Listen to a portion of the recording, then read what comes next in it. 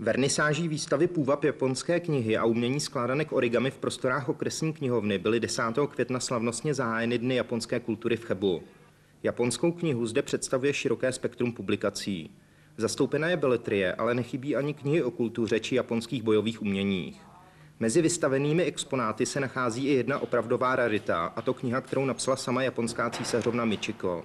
Vzhledem k tomu, že Japonsko používá znakového písma a v Japonsku se píše teda ve sloupečkách od prava do leva, anebo v řádcích od leva do prava, takže japonské knihy už jenom tím, že použijí oba způsoby psaní, různé velikosti e, znaků, tak uh, už ta jejich výtvarná hodnota je rozlišná.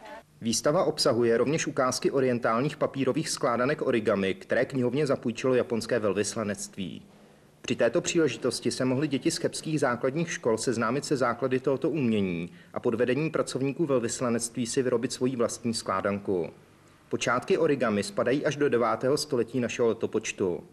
V nejstarších dobách byly papírové skládanky užívány při náboženských obřadech. V průběhu staletí se pak origami vyvinulo ve zvláštní formu umění s mnoha možnostmi vytváření i použití. V současnosti se s ním lze setkat například ve školách při výuce matematiky a geometrie. Používá se také při rehabilitaci tělesně postižených lidí či v psychoterapeutice.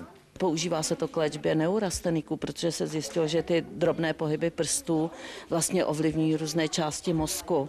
E, takže vlastně odvádějí e, pozornost neurasteniku od jejich problémů. Všichni zájemci mohou výstavu v Chebské okresní knihovně schlédnout do 24. května, kdy vystřídá další expozice pořádaná v rámci Dnů japonské kultury.